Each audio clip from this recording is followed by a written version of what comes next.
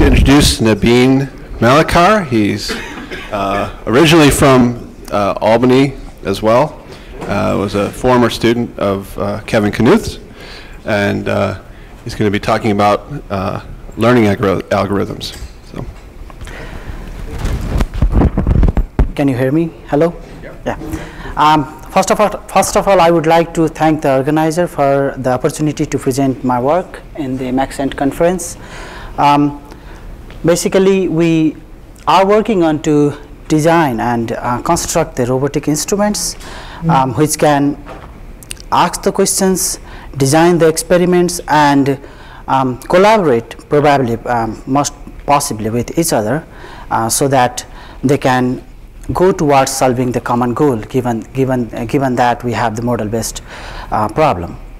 So uh, the time actually feels quite right now because um, because of the comprehensive success of the Bayesian method in last few decades and uh, the, the development in the, the theory of the Bayesian experimental design and the, the collective work of Professor uh, Knuth, which actually includes the um, question theoretic experimental design approach to the um, exper uh, uh, to building and demonstrating such principle um, which as which actually has become viable. Now we actually had um, last year demonstrated um, the robotic instrument um, this actually was constructed in 2007 by Professor Knuth and uh, I also had demonstrated a, an algorithm uh, for searching the um, the entropy space anyway. But the, the robot here actually has this um, uh, light sensor over here um, and then based upon the light intensity that it observes at any point on the field, it has to characterize this white circle in the ba black background and it is only allowed to have the point observations. You cannot scan the, the surface uh, as you might conceive of doing it. Uh, so, so we would like to characterize it and it's pretty much straightforward problem but the next problem that we would like to do which actually would be pretty nice to have is can we actually design um, the experimental setup in such a way that two robots collaborate with each other and work towards solving the given problem. So um, we will apply the logic of questions and uh, uh, we are influenced by the information, information theory and basically we will implement the inquiry calculus that was developed by Professor Knuth and we will show illustrate uh, how we implemented the um, collaborative experimental design by two, this, two of these um, robotic instruments. Uh, what is nice about this formulation is that uh, although we are demonstrating two robots here, uh, it can be generalized to multiple robot and we call them uh, intelligent agents. Um, so basically um, a brief summary of the logic of questions. Uh, the question theoretic approach of uh, Professor Knuth considers three space. The state space which describes the system, the hypothesis space which describe what we know about the system and the inquiry space which describe what can potentially be known about the system. Can this. The state space actually um, has the elements which are mutually exclusive to each other and um, basically I am denoting them as XA, XB and XC. The hypothesis space is the lattice constructed by the power set construction of the um, states basically ordered by the set inclusion relations and uh, it is basically a boolean lattice here the uh, usual set um, theoretic notation um, or and and becomes very handy and the logical R, logical or is being implemented by the set union and the logical and is being implemented by the set intersection. The inquiry space, which is um, more interesting to us, is constructed by taking the downset of the statements ordered by the set inclusion relations. The space is formed from the Boolean if the space is formed from the Boolean hypothesis, then it is a free distribution distributive lattice. And the elements of this space is um, elements of this space are called questions. Here in this notation, if the the relationship between these two elements x and y are denoted as x uh, um, y includes x, then we, what we can say is x answers y. That means by answering x, you can you you actually answer y. So there is some degree of inclusion relation going on. Um, the measure that we use in hypothesis space is probability, and the measure that we use in inquiry space is entropy. And this there is one nice spot in this inquiry space which is called central issue if you can resolve the central issue, then basically you have resolved the, um, the problem, or you can actually, um, you have uh, quite a grip on the problem.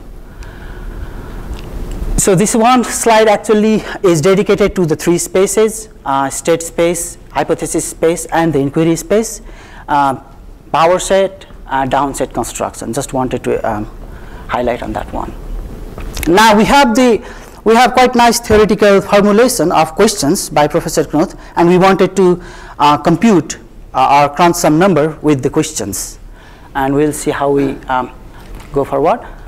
The, um, the formulation of Richard Cox actually defines the question as the set of all possible logical statements that can answer it and uh, um, the Knuth's formulation actually extends Cox's idea and defines the question as the downset of all logical statements. Um, the mathematical details of this, uh, these can be found by uh, the papers of last about 10 years by Professor Knuth and he also hinted some of it in yesterday's presentations. He, um, what is um, what is really interesting is that without loss of any generality, he actually um, shows that the relevance of the questions, let's say uh, a p uh, element, let's say p, is actually, um, sorry, question P with respect to the central issue is given by the entropy.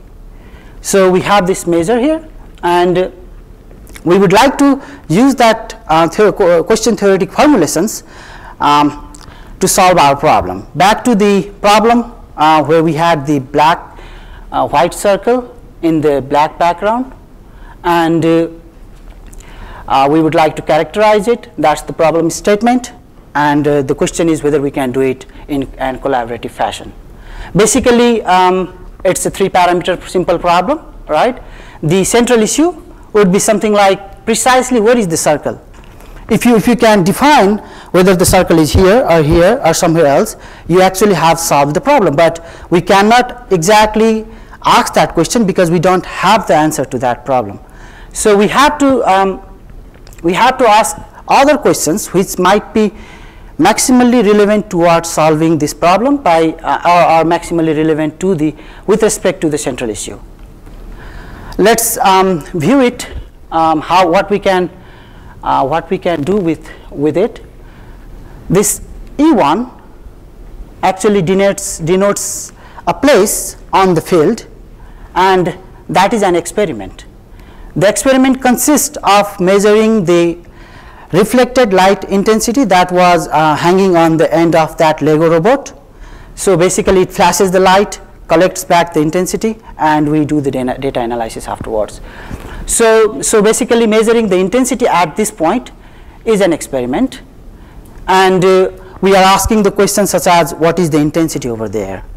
Is it measuring the white, uh, is it measuring the data which is corresponding to the white surface or the black surface? So, so let's let's suppose that we have um, few candidates of the um, uh, circles here uh, by by by the very fact that we have this model based uh, model problem if this point is inside the circle then it will be predicted that these circles are now being co um, collected as the um, one set of uh, samples or, or, one set of proposals and the these black which actually are not including this um, point experimental point are being classified as another set. So basically based upon the outcomes, right, whether this point is inside the circle or outside the circle, we have we have this binary partition of the questions. These are the um, issues. So, so having having having formulated the problem in the question theoretic formulation, now now we would like to see whether we can implement the principle of uh, some principle of collaboration. Um, now what we can see here is by selecting the particular location of the experiment that the first robot decided to take the measurement, right? Um, it has partitioned the, um, the question space into two sets that was indicated in the previous slide.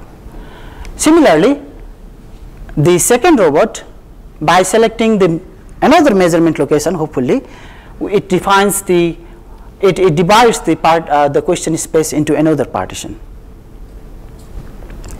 And jointly they partition this space into four regions. Either both of them are going to measure white or both of them are going to measure black or one of them is going to measure white and other is measure, going to measure black. So so by by very construction here this robot by constructing the uh, experiment E1 and the second robot by constructing experiment E2 are partitioning the space and and this because of the joint partitions that we have we can we can say that the relevance of the two experiment given by the joint is given by the joint entropy of the predictions out of the experiments. So here we can see this relevance of the uh, I mean the degree to which um, uh, the degree to which experiment E1 uh, jointly with E2 answers the um, the uh, relevance sorry uh, the central issue is given by the joint entropy where PA denotes the um, the probability that uh, the both of the both of the experiments or both of the robotic exper experiment will be coming as white whereas PB denotes the probability whether it uh, the first measurement of the first measurement location is white and the second is black and uh, similarly uh, PC and PD uh, gives the probabilities. So now um, we, we did some simulation with it and uh, here um, we are demonstrating an entropy map here. Basically uh, what's happening here is that we consider every point on this space as the, um, the candidate experiment. So you, uh, the robot could go anywhere and take the measurement there, but we don't want to do that. These white circles are the samples drawn from the posterior. And uh, given that we have the posterior samples, for every point on the field, we can have the uh, distribution of the predictions and based upon those distribution of the predictions, we can uh, compute the entropy. We compute the entropy by using the histogram method. And this, um, was there a question? No? And then the entropy is being uh, represented here with the uh, some sort of color map here. The point which corresponds to the maximum entropy in this entropy map, which is being indicated by the green dot here, actually um, is the point which bears maximum relevance towards solving our problem if we were to implement only one robot. And we also have um, done the same problem using the uh, Bayesian experimental design uh, approach and we have found that it, it corresponds to the same point. Any question on this map? Okay, good. This is the mutual information map where what we have done is simply we have again constructed the uh, map out of the uh, scalar values that we obtained by taking considering um, the mutual information between the point selected point this green dot and all other points. And what is interesting to see here is that um, the places which are very close by to this experiment shares quite a bit, uh, quite nice amount of mutual information with the selected instrument, uh, selected experiment here. and we can say that these are the uh, these might be the uh, redundant information which actually being which are being shared by the um, the first experiment that we have decided and the candidate experiment which are nearby. Um, this is the joint entropy map where we have uh, computed the joint entropy of all the candidate points with respect um, given that we have this experiment E1 so we are computing the joint entropy here and we have uh, we have selected this uh, this point which corresponds to the maximum joint entropy. And uh, it's quite nice that um, we have this these two points which um, are not very close to each other and you can see that um, the the point where the um, mutual information between these two were high very high now goes low for the joint entropy map. So by by finding the point where which maximizes the joint entropy between the um, the first robot uh, first experiment and the second one we can say that it maximizes the joint entropy. It maximizes the relevance of the the joint question joint questions that are being posed and minimizes the inform uh, mutual uh, sorry minimizes the information redundancy that could have uh, that could have been there around this area any question on this slide?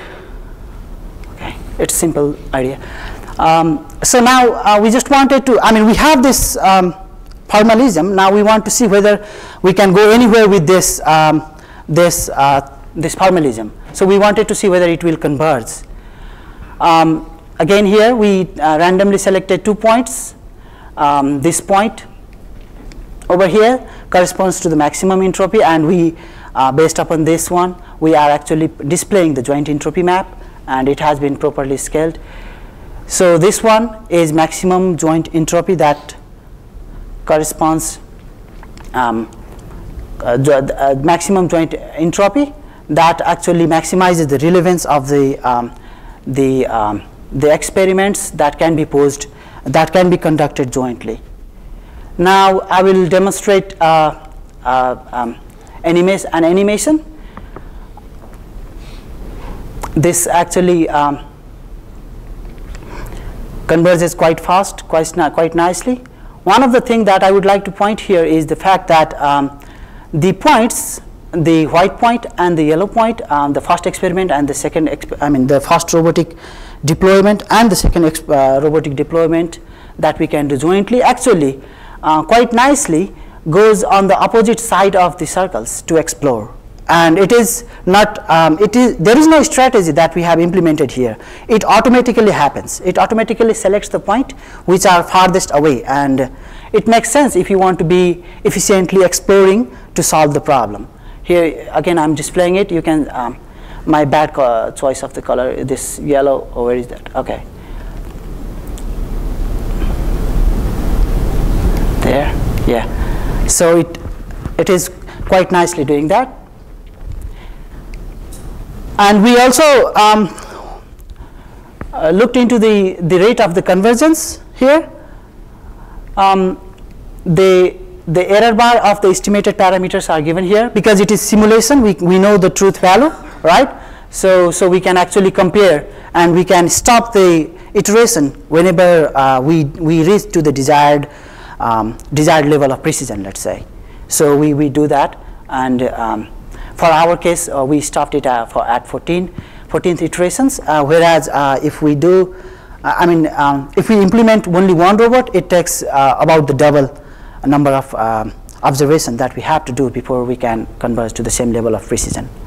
Sorry. Um, in two of your plots there, the error. Speak up, please. Speak up. In two of your plots, the error bars don't contain the true value till quite late. Uh, we recorded. Um, Oh, you mean the, okay, I see. This, okay, okay, I see. If the, um, what he was asking was that um, I have the inference here, but this inference doesn't, uh, doesn't include this, um, this true value here, right? Okay. Um, basically, this is, um, this is quite interesting because um, in some of the cases what happens is that whenever we are exploring uh, uh, the, the robot decides to, you know, ro robot up to the up to the time when it has found one location where it is white, it keeps on exploring and it you know um, it decides the experiment which it thought might have been useful, but it is not. So even though uh, even though um, it is not it is not I mean it is being inferred, but that's the wrong value because um, we can see that the error bar is pretty high here. Does that answer your question? It is basically learning iteratively here, although it doesn't include the um, the level of precision that you wanted. I mean, you are, you are just taking the measurement somewhere blankly, and based upon that one data, you probably cannot infer what the parameter of the circle circles are. Um, quite quite simple idea. Um, so we have basically implemented the order theoretic approach in designing the collaborative experiment. Um, we, we call it, we would like to call it the principle of information-based collaboration. Um, uh, we, we argue that, we, we propose that the joint entropy gives the measure of the relevance of the questions which can be posed by the two intelligent agents which are acting autom autonomously and that um, maximization of joint maximization of joint entropy maximizes the relevance of the joint questions with respect to the central issue and that um, it reduces by maximizing the joint entropy it reduces the information redundancy between the questions that you could have posed. Um, uh, we, we, we would like to implement the, the principle um, for swarm of robots because uh, this principle seems nice that you can have multiple robots which can be deployed autonomously and uh, we are working on developing currently we are working on to develop uh, quadcopter and uh, um, the the two our two of our group members William and Brian in UT Dallas and uh, these are my references um, thank you for your patience and time Thanks, Nabin. Questions?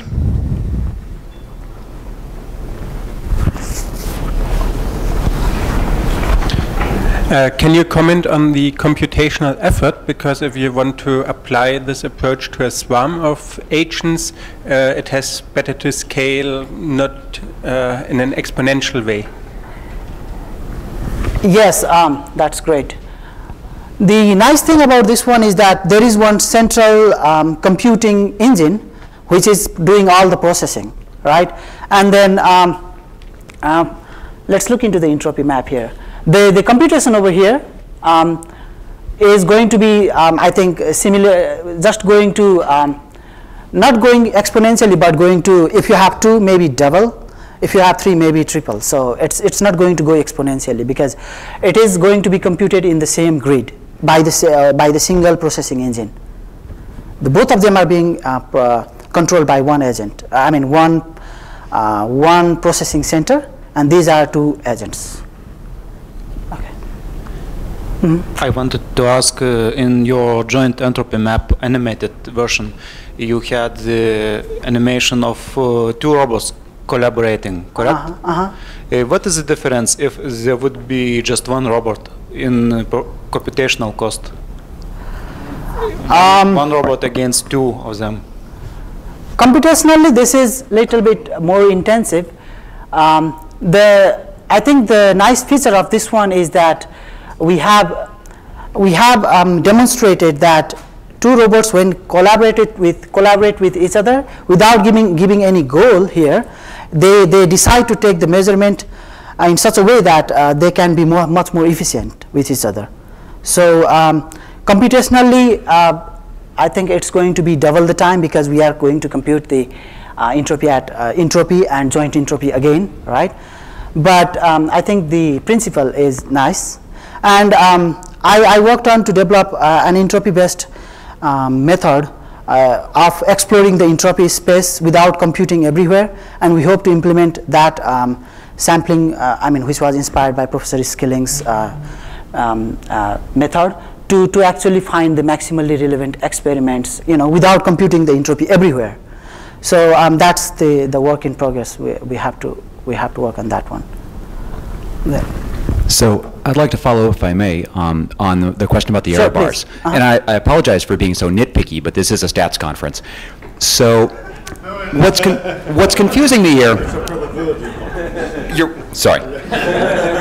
I would, I would expect that error bars, by whatever definition, ought to include the true value most of the time. And what I'm seeing is, for the black and red lines, uh, I mean, until the error bars become one pixel wide, they continue to not include the true value. Now, and you sort of explain why, why about the mechanics of the problem that might be happening, but it, it worries me that something fishy is going on, either that these are not really error bars, or that in the software, the program is not accurately estimating what it knows. It seems to believe that it knows a lot more than it does, and I'm just a bit confused. Ah, yeah, I know. Um, it, it comes down to whether you want to take the um, mode or mean. In, in this case, what we did was we, uh, we, to, we took the uh, weighted average of the sample, okay, and we, we computed the weighted average.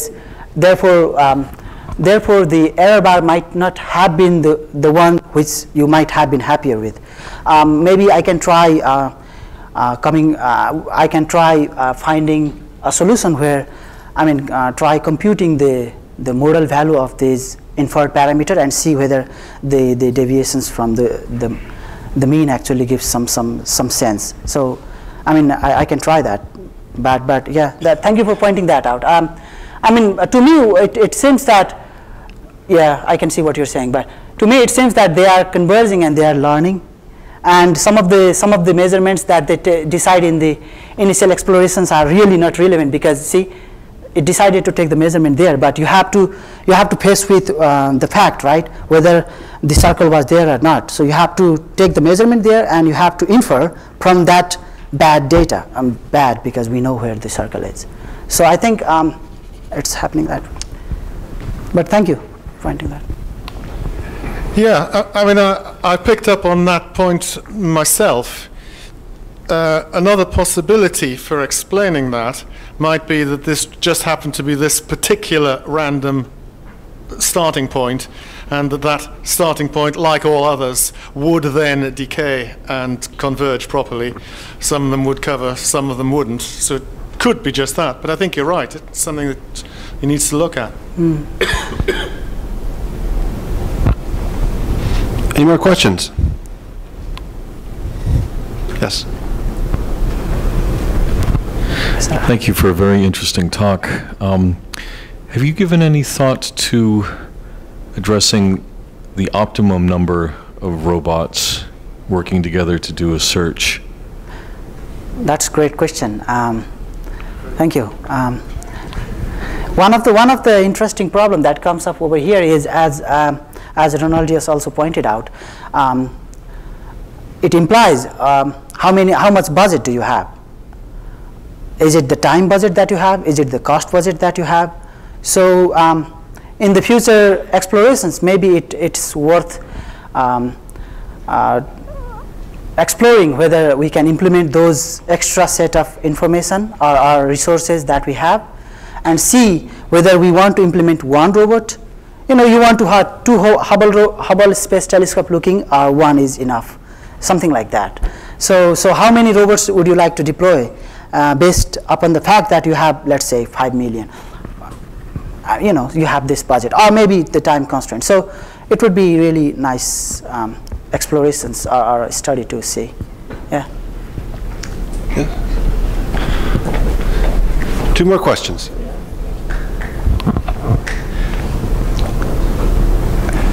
First of all, can I just clear something up? The, the white point and the blue and the, the white square and the, and the yellow square, is that where each of the respective robots are really sure that they're sitting right on the circle?